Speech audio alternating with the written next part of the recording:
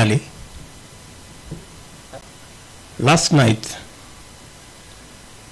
as I was preparing, villagers came from the village, including some of my relatives, because uh, my daughter got a spouse. She works in foreign affairs, and so she got a foreigner to be a spouse. And so one of the gentlemen from the village was speaking to us, and he said something again, though coming from the village, that is very profound. He was telling us about this wedding in the Bible that was in, a, in Canaan.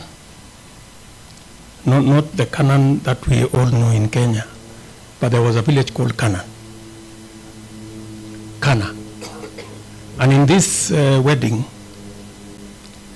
among the people invited was Mary, mother of Jesus, uh, Jesus' mother, and Jesus himself, and others.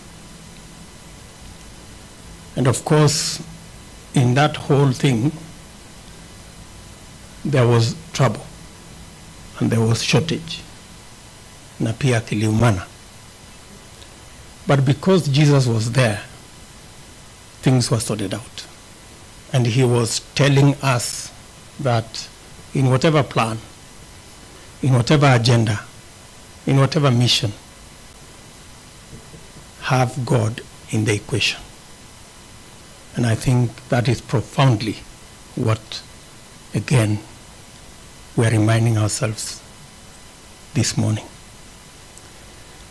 With those many remarks, it's now my duty to request our President, His Excellency Uhuru Muigai Kenyatta, to come and make his remarks. Mr. President, sir.